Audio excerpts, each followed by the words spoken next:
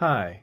Tools have been added to the ambulatory clinic workflows to allow for documentation of patients that need to be screened for infectious disease following travel outside of the United States.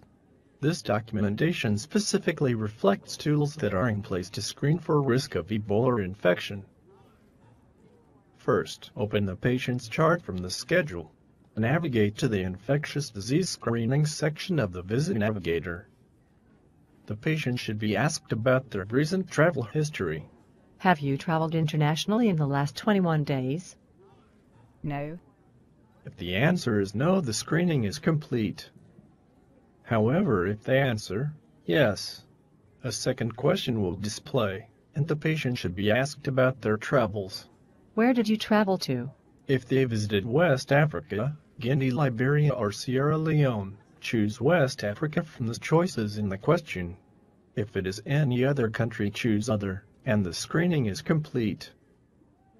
If the answer is West Africa, third question will appear, and the patient should be asked if they have any symptoms.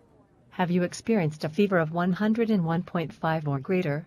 Headache, vomiting or weakness? Abdominal pain, muscle pain, diarrhea, sore throat, rash, red eyes or hemorrhaging?